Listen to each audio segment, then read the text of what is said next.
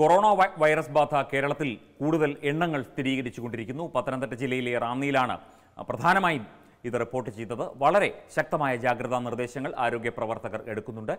ശരിയായ രീതിയിൽ കൊറോണയുടെ ആ, വ്യാപ്തി തടയുന്നതിനുള്ള നിർദ്ദേശങ്ങളും ഒക്കെ എടുക്കുന്നുണ്ട്. നമുക്ക് അറിയാം അത് വ്യക്തമായി തന്നെ. പക്ഷേ ഈ കൊറോണ വൈറസ് ബാധയുടെ വാർത്തകളും അതിന്റെ വിശദാംശങ്ങളും നമ്മുടെ മാധ്യമങ്ങളിൽ കാര്യമായി തന്നെ പ്രചരിക്കുന്നതിനിടയിൽ രക്ഷപ്പെട്ട ചില ആൾക്കാരുണ്ട്. അവരെക്കുറിച്ച് കൂടി ഒന്ന് ഓർക്കുന്നത് നന്നായിരിക്കും. മാധ്യമ ശ്രദ്ധയിൽ നിന്ന് തിരിഞ്ഞുപോയവർ. ഒന്ന് വേറാരുമല്ല കൊറോണ വൈറസുമായി ഒരു ശകലം ബന്ധമുള്ളയാളാണ്. വൈറസ് എന്ന സിനിമയുടെ സംവിധായകൻ ശ്രീ ആഷിഖ് അബു. ആഷിഖ് അബു കൊച്ചിയിൽ കൊച്ചി മ്യൂസിക് ഫൗണ്ടേഷന്റെ പരിപാടി നടത്തി ലക്ഷക്കണക്കിന് രൂപ വെട്ടിച്ച വാർത്തയുടെ വിശദാംശങ്ങളും മറ്റു കാര്യങ്ങളും ഈ കൊറോണ ബാധയ്ക്കിടയിൽ ഒന്ന് മുങ്ങിപ്പോയില്ലേ എന്ന് സംശയം. ഇപ്പോൾ സ്വാഭാവികമായും ഇത്തരം ഒരു ആരോഗ്യ പ്രശ്നം വരുമ്പോൾ മറ്റു വാർത്തകൾക്ക് ശ്രദ്ധ കൊടുക്കാതെ ഈ വാർത്തകളിലേക്ക് ഈ രോഗാവസ്ഥയുടെ വാർത്തകളിലേക്ക് മാധ്യമങ്ങൾ എത്തുന്നത് സ്വാഭാവികമാണ്. പക്ഷേ ഇതിൽ അറിയാതെ തന്നെ സ്വാഭാവികമായും ഇദ്ദേഹവും ഇദ്ദേഹത്തിന്റെ കൂട്ടാളികളും ആഷിഖ് കപൂറിന്റെ കൂട്ടാളികളും രക്ഷപ്പെട്ടു എന്നാണ് മനസ്സിലാക്കുന്നത്. രക്ഷപ്പെട്ട വേറെ ഒരു കൂട്ടരുണ്ട്. ഈ വെള്ളപ്പൊക്ക ദുരിതാശ്വാസ പ്രളയ ദുരിതാശ്വാസ ഫണ്ട് തട്ടിച്ച നിരവധി സി പി എംകാരുണ്ട് അത് വിവിധ പ്രദേശങ്ങളിലായിട്ടുണ്ട്. കണ്ണൂരുണ്ട് അതുപോലെ തന്നെ കൊച്ചിയിലുണ്ട്. കൊച്ചിയിലുള്ള ഒരു ഭാര്യയും ഭർത്താവുമുണ്ട്. സി പി എമ്മിന്റെ പ്രമുഖരായ നേതാക്കളാണ്. വിഷ്ണുപ്രസാദ് എന്ന സി പി എമ്മിന്റെ ഒരു നേതാവുണ്ട്.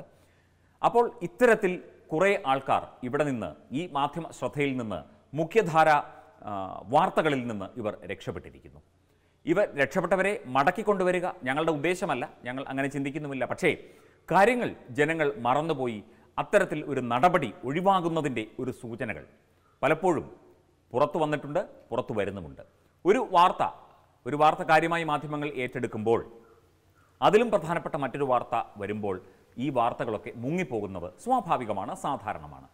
പക്ഷേ അത് ഒക്കെ ഒരു വീണടം വിഷ്ണുലോകമായി അല്ലെങ്കിൽ വീണടത്ത് കിടന്ന് ഉരുളാനുള്ള ഒരു നയമായി സർക്കാർ സംവിധാനങ്ങളും അതുപോലെ സാമൂഹ്യ പ്രസ്ഥാനങ്ങളും നിയമ സംവിധാനങ്ങളുമൊന്നും മാറരുത് എന്ന ഒരു അഭിപ്രായം ഞങ്ങൾക്കുണ്ട്. അത് ശരിയല്ലേ? ഒരു വാർത്ത ഈ വാർത്ത മുഖ്യധാരാ വാർത്തയിൽ നിൽക്കുന്ന കാര്യങ്ങൾ മാത്രമേ ഞങ്ങൾ അന്വേഷിക്കൂ അല്ലെങ്കിൽ ഞങ്ങൾ അതിന് അതിനുവേണ്ടി മാത്രമേ ഞങ്ങൾ ശ്രമിക്കൂ എന്നൊക്കെ പറഞ്ഞാൽ അത് ബുദ്ധിമുട്ടാകും. ഇപ്പോൾ ഈ കഴിഞ്ഞ കുറച്ച് ദിവസങ്ങൾക്ക് മുൻപ് കൊല്ലത്ത് ഒരു പെൺകുട്ടി ചെറിയ പെൺകുട്ടി ദേവനന്ദ മരിച്ചതുമായി ബന്ധപ്പെട്ട വാർത്തകളൊന്നും തന്നെ അതിന്റെ ഫോളോ അപ്പുകളൊന്നും തന്നെ ഇപ്പോൾ മാധ്യമങ്ങളിലൊന്നും കാണാനില്ല. ഞങ്ങൾ കൃത്യമായ ഫോളോ അപ്പുകൾ അതിന്റെ അന്വേഷണവുമായി ബന്ധപ്പെട്ട് നൽകിയിരുന്നു. മാധ്യമധർമ്മം എന്നുള്ളത് കൃത്യമായ വാർത്തകൾ കൃത്യമായി വിവരങ്ങൾ എത്തിക്കുക എന്നുള്ളതാണ് സമയാസമയങ്ങളിൽ.